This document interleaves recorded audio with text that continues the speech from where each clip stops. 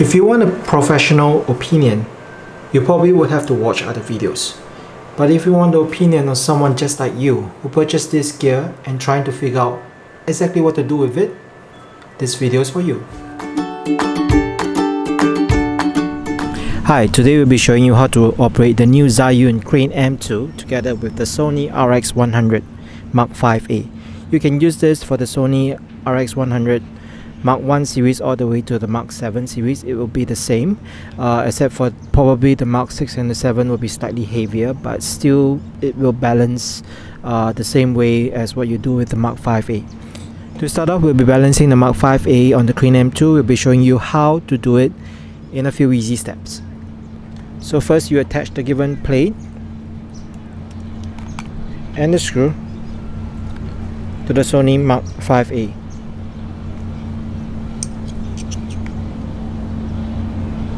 What we do is we'll, there are two slots here, the shorter slide and the longer slide. We'll choose the shorter slide to slot in for this Sony RX100.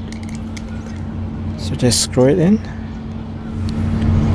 Okay, so once you screw it in, Next, you have to release the lock on the Crane M2. The Crane M2 comes with a lock that makes sure your gimbal doesn't move around when it's, when, when it's in the back. So once you release the lock, so the screw, you can start your balancing process. Okay, first you attach the plate onto the Crane M2. There's a lock. Here lock it up. Okay. The next thing you do turn on the camera because this lens itself adds weight to the front of the camera. So in order to balance it properly you need to turn on the camera to balance. You start on balancing by balancing the roll which is this red button over here.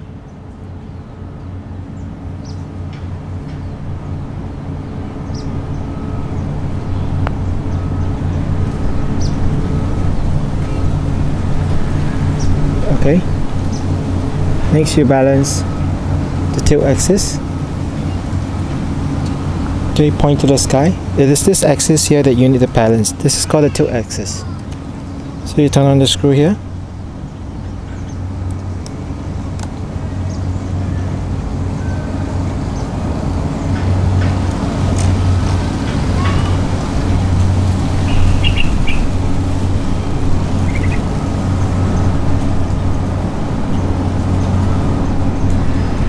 you need to make micro adjustments to make sure it's balanced. Okay?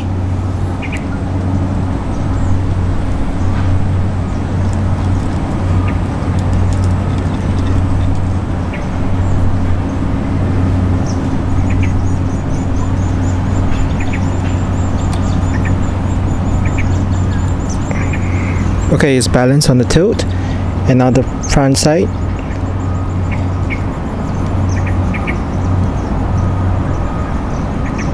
okay. It's balanced. Okay. after you, ba you balance this tilt side you need to balance this pin as well to make sure it's balanced properly.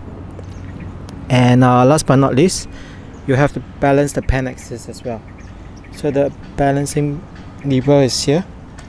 So what you do put it parallel to the ground. Okay right now you can see it's not balanced. So loosen up. Push it okay. As long as it's parallel to the ground it's balanced.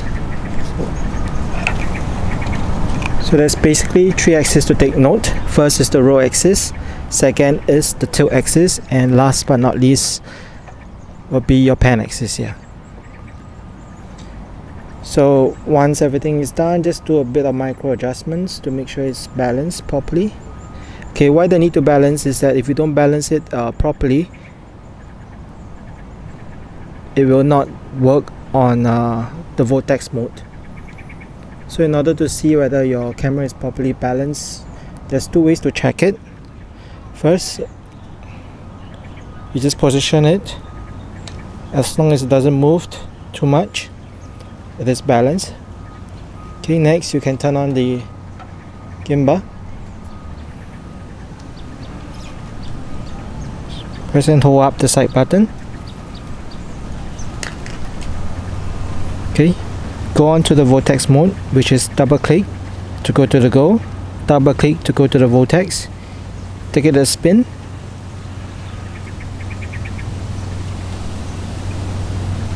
Okay if it spins well it's balanced. So now you go back to the PF mode and you click the back button here.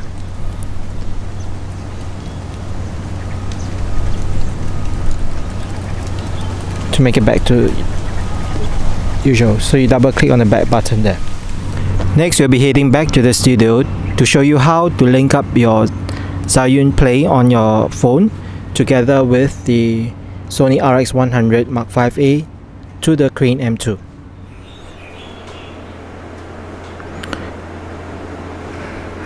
Okay, so right now we're back to the studio.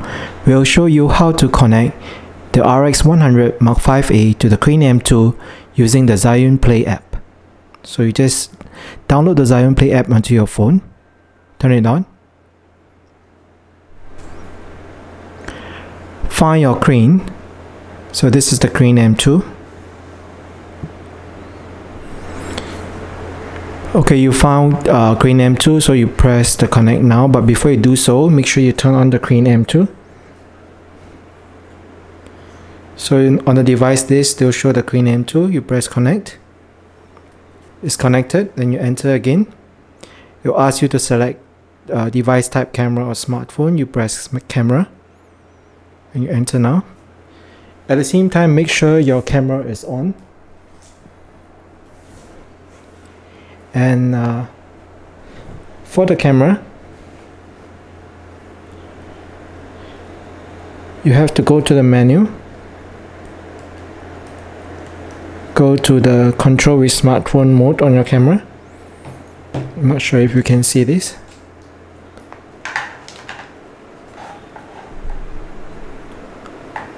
Go to the menu. Control with smartphone. Connection. Wi-Fi standby. Same time go to this Wi-Fi near and search for the camera.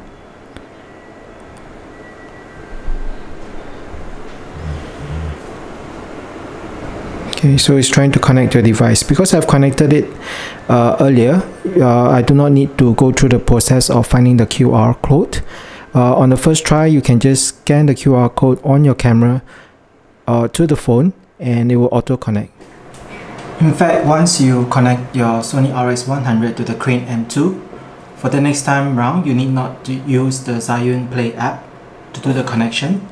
What you need to do is simply turn on the Crane M2, turn on the camera, make sure the control with Wi-Fi is on and it will automatically connect for you.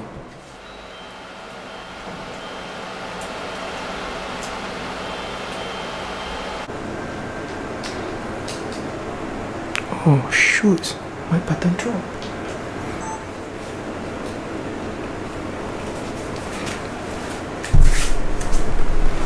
So what happened just now was that the button here was missing from the Crane M2. It came off and dropped into the bag. As you can see the button can be easily popped off. So do be careful when you're using the Crane M2, especially when you're outside Make sure the button is always on before you store it after use. Okay, once it is connected, what you can do with this is that you can control the zoom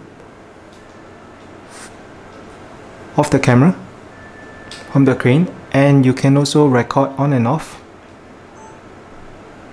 from the crane itself. One click to record on video. One click to stop You can also press the record button to take a photo, but you need to exit the video mode from your camera to go to uh, the camera mode. It could be aperture priority, shutter priority, or just auto mode. So what, you do is just to double click on the red button here. You do autofocus and then we'll snap a photo. One of the things during the course of use is to note is that the connection sometimes can be a little bit iffy. So what happens is that um, once the camera is connected to the Crane M2 you can use it to zoom. But for recording purposes sometimes it works sometimes it doesn't work. If that happens to you what you need to do is just to switch off the Crane M2 and turn it on again and it should work. And that is how you connect the Crane M2 to the RX 100 Mark 5A now we'll head back outdoors to check on the various shooting modes of the Crane M2 on the Sony RX 100 Mark 5A. There are 6 modes on the Crane M2. The first off is the pan follow mode, which just follows your arm. After the pan follow mode, you click once and you have the lock mode. Lock mode ensures your screen stays to the front. So no matter how you positioned, it will still stay to the front. The lock mode is POV mode for one more click. So POV mode goes in full 360 second motion. We go back to the pan follow mode and you double click it goes to the go mode. Go mode is a sport mode. So you can twist your gimbal and the camera goes from side to whips from side to side. And after go mode you double click again it goes to the vortex mode. So vortex mode spins your camera around.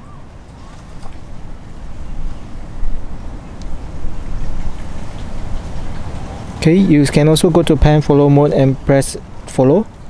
So this will follow the crane itself. Okay click on the button here. Go back to pan follow double click behind. And it will go back to the original position Okay, there's also a selfie mode on the Crane M2, so you just triple click on the back button here.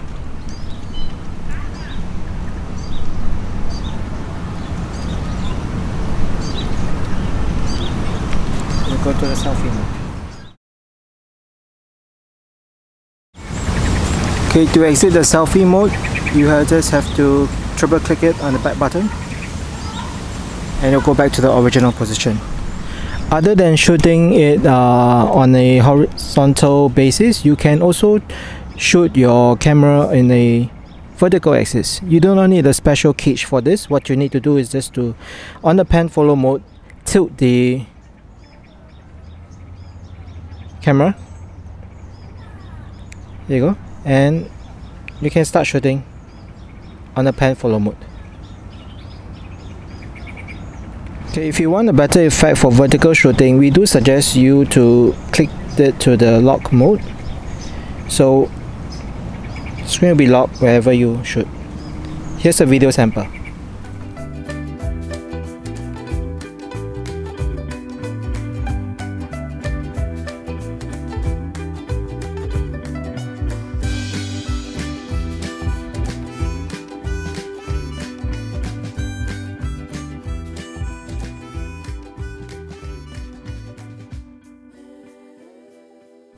Okay to change it from uh, vertical mode to horizontal mode simply just move that and it will be changed to the horizontal mode. Okay we'll be showing you some video samples that we took on the pan follow mode the lock mode the point of view mode the follow mode the go mode as well as the vortex mode